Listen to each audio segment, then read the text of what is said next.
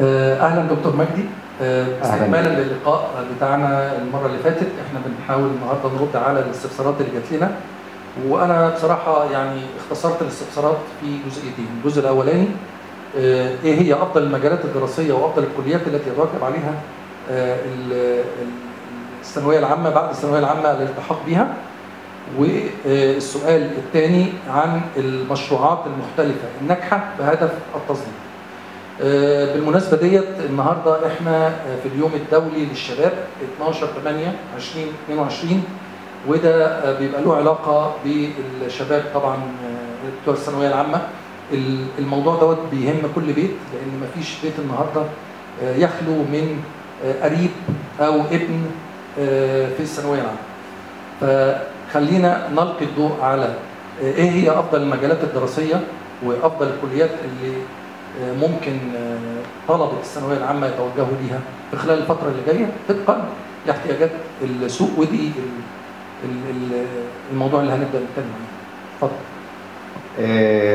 أنا هاخد من سؤالك وهركز أكتر على السؤال الأولاني وده يعتبر جزء من التخطيط الاستراتيجي بتاع البيت يعني النهارده أي فرد أو أي ولي أمر أو أي طالب بيعمل تخطيط استراتيجي لنفسه ممكن يسأل نفسه السؤال ده أنا يعني هعمل إيه في مستقبلي وإيه الكلية اللي ممكن ألتحق بيها اللي هي توفر لي عمل وعمل بأجر مرتفع سواء داخل مصر أو خارج مصر عشان ممكن ندخل الموضوع في التصدير إن إحنا يبقى عندنا منتج مصري من الكوادر البشرية اللي هي بتعمل في مصر وممكن يكون عندها فرصة إنها تعمل خارج مصر. النهارده الشباب في مصر عندهم فرص هائله جدا في مجال التعليم وأنا هلقي الضوء على مكانين بالتحديد سواء لو الطالب متفوق وغاوي تعليم يركز مع الجامعات الأهلية. وهندي فوق هدي نبذة كده عن الجامعات الأهلية ولو الطالب يعني هو الطالب يشوف نفسه أو ولي الأمر يشوف الطالب عنه. لو هو مش ما عندوش شغف بالعلم والجانب الفني عنده أكتر يركز مع الجامعات التكنولوجية والكليات التكنولوجية. طيب ما هي الجامعات الأهلية يا جماعة؟ عشان نكون عندنا فكرة عنها ونقول إحنا بنلقي الضوء عليها. هي جامعات غير هادفة للربح تتبع المجلس الاعلى للجامعات. يعني إيه غير هادفة للربح؟ يعني فيها مصروفات غير الكليات أو الجامعات الحكومية وهي بمصروفات بس المصروف بتاعها بيتصرف على الطالب يعني ولي الأمر بيستثمر في ابنه وبيدفع له مصروفات بدل ما يدفع في جامعات خاصة أو جامعات دولية مبالغ كبيرة لا هو بيدفع مبالغ مناسبة جدا إن هو يحصل في الآخر خالص على منتج فيها جودة تعليم. طيب إيه هي الجامعات الأهلية اللي أعلنت من حوالي سنة أو سنتين اتفتحت؟ هتلاقي في جامعة الجلاله موجودة في هضبة الجلاله فيها كليات من أول طب أسنان وعلاج طبيعي وفيها حاجات للاي تي وفيها مجالات مختلفة كليات قمة زي ما إحنا بنقول. وفي عندنا جامعة العالمين وجامعه الملك سلمان أعتقد موجودة في ليها أكثر من مكان في راس سدر وفي الطور وفي شرم الشيخ. في كل مكان فيها عدد معين من الكليات. وفي قلنا جامعة المنصورة. دول اللي اتفتحوا already من حوالي سنتين ودخلوهم ناس already وفي جامعات حوالي أكثر من 10 جامعات صدر بيهم قرارات أو بيسموها قرارات رئاسية لازم يصدر ليها قرار لاصدار هذه الجامعات. تصور في اتجاه إن يبقى أكثر من 10 أو 15 جامعة ثانية هتتفتح في كافة المحافظات. فكل حد عنده طالب متفوق وعايز يتعلم تعليم جيد إن هو يتخرج من الكلية يلاقي فرصة عمل سواء داخل مصر أو نصدره بره مصر يبقى عندنا علماء بره مصر في مجالات مختلفة أنا بنصح بالجامعات الأهلية. بتقدم إيه الجامعات الأهلية؟ اولا بتقدم جودة تعليم اعداد طلاب أقل بتقدم بتقبل بنسبة أقل في التنسيق يعني مش بتاخد أقل في في درجات بنسبة حوالي 5% بتوفر سكن للطلاب جوار سكن فندقي بجوار الجامعة نفسها جوار الكلية. فيهم تأمين صحي تأمين طبي عندهم كمان هنقول إيه آه، توأمة مع جامعات دولية. يعني الطالب بيقدر يحصل على شهادتين شهادة من الجامعة الأهلية داخل مصر اللي هي بتدي جودة تعليم هيبقى ليها رانك إن شاء الله على مستوى العالم. وكمان يبقى يقدر يحصل على شهادة من آه، جامعة أخرى عاملة توأمة مع الجامعة الأهلية اللي هي آه، تتقدم فيها الطالب ده كده بالنسبة للطلبة اللي هي بنقول عندها شغف بالتعليم. ننصحها وعايز يدخل كلية من كليات القمة. ننصحها ويكون عنده قدرة على إنه يدفع مصروفات طيب ننصح اللي ما عندوش قدرة على إنه يدفع مصروفات لهذه الكلية وهو متفوق. يدور على المنح الدراسية اللي بتقدمها هذه الجامعات. الجامعات دي بتقدم منح دراسية مجانية. يسأل هل هو مجموعه يأهله إنه ياخد منحة دراسية مجانية؟ طيب إيه كمان؟ يقدر يسأل على المنح الدراسية المقدمة من رجال أعمال يعني أنا أسمع إن في جامعة الجلالة فيها منحة مقدمة اسمها منحة ساويرس بيقدم عدد معين من المنح المجانية للطلبة المتفوقة هل نقدر نعمل قائمة بالمنح ديت ونعرضها على آه، يعني على الموقع بعد سهلة إن إحنا نعمل هذه القائمة ون- وتعمل بحيث إنها تعمل سهلة لينك. على الناس. آه بحيث إن الناس تبص على الجامعات اللي بتقدم هذه المنح أنا تمام. أعتقد جامعة الجلالة فيها منحة مقدمة من ساويرس وهنا يا ريت بدعو كافة رجال الأعمال على مستوى جمهورية مصر العربية لغاية ما يبقى في مبادرة على مستوى مصر إن هم كل رجل أعمال عليه حاجة اسمها CSR هم يعرفوها كويس Corporate Social Responsibility إن هم يعملوا منح دراسية للطلبة المتفوقة بحيث إن أنا يبقى عندي منتج جيد بينتج هنا في مصر أقدر آه، يعني يا إما رجل الأعمال يعمل المنحه دي منحة مجانية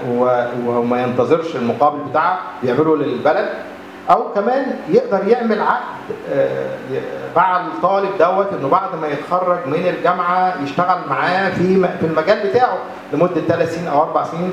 وأتمنى مثلا من آه، من جهة في الدولة زي مثلا وزارة التعليم العالي ما عملت من حوالي سنتين صندوق رعاية المبتكرين والمبدعين يا ريت يكون عندنا هنا في مصر آه، جهة بترعى المتفوقين وحاطة أسس وقواعد تساعد رجل الأعمال اللي هيصرف على الطالب المتفوق وبيعمل له sponsoring أو يعمل له دعم أو رعاية إنه يقدر يشتغل معاه سنة أو اثنين أو ثلاثة ودي هنا يعني الطرفين هنا كده win win situation فأنا أتصور إن كده النصيحة اللي إحنا قلناها إن الطالب المتفوق يدور على الجامعات الأهلية هتديله فرصة تعليم أجود بسعر أقل وبياخد قلنا آه، شهادة دولية آه، و بيقدر يلتحق بسوق العمل وبسرعة وبمرتبات عالية سواء داخل مصر أو خارج مصر.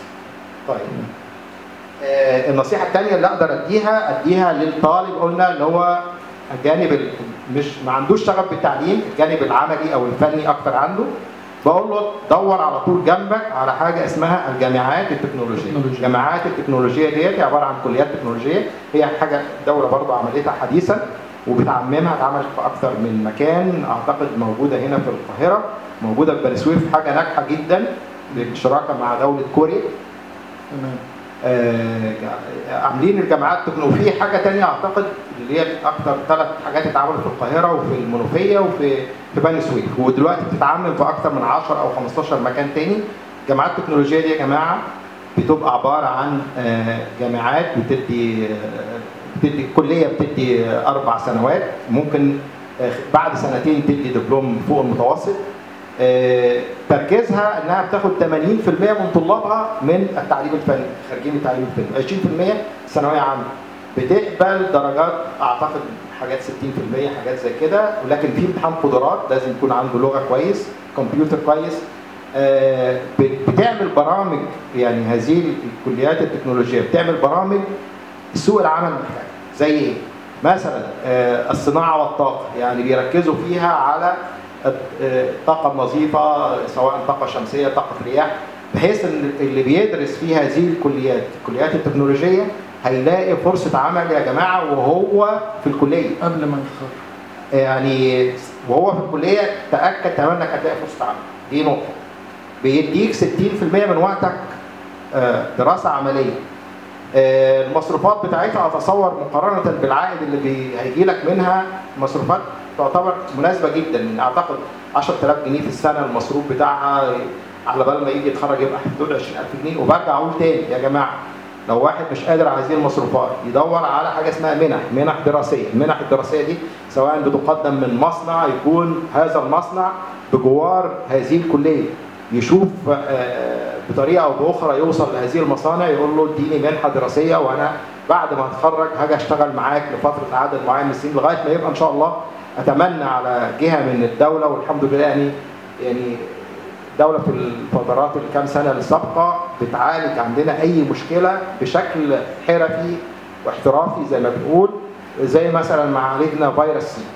اتعمل الحملة و- و- وأنهينا آه، آه، مشكلة الفيروس سي. آه، التعليم عندنا دلوقتي الدولة بتعمل اللي عليها من ناحية إنها بتوفر مجالات تعليمية تتماشى مع سوق العمل. يعني نقدر نقول بتربط الخريج بسوق العمل. ودي زي ما اتفقنا قلنا موضوعين جامعات الأهلية الجانب للمتفوقين ولا اللي عندهم شغف بالعلم والجامعات التكنولوجية للناس اللي حابين إن هم يشتغلوا أعمال فنية وسوق العمل طالبها نتكلم عن مجال ال IT. تلاقي مثلا في مجال أمن المعلومات مجال الذكاء الاصطناعي مجال ال data analysis كل المجالات دي يا جماعة الخريج بتاعها بيتخرج بياخد مرتب عالي داخل مصر ولو جينا بقى نتكلم آه، خارج مصر هيبقى مرتبات عالية جدا. وهنا لو حبينا نربط السؤال الثاني اللي هو الناس اللي باعتين بيقولوا مجالات التصدير. التصدير أنا أنا نفسي النهارده يكون مصر دولة مصدرة للأعمال.